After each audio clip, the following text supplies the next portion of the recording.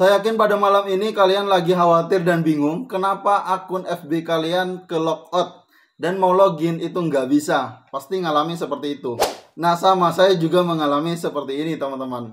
Jadi buat kalian yang aneh dengan kejadian ini, akun FB kalian ke logout, kalian nggak perlu khawatir. Karena semua orang mengalami hal tersebut. FB lagi error, itu aja jawabannya.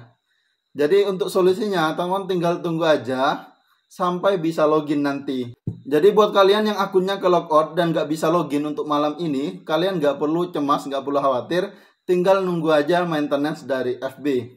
Atau teman follow akun ini, siapa tahu kalau sempat nanti saya kabari lagi kalau akun FB itu sudah bisa dipakai lagi. Yuk yang belum follow silahkan follow terlebih dahulu atau komen jika teman-teman mengalami hal yang serupa.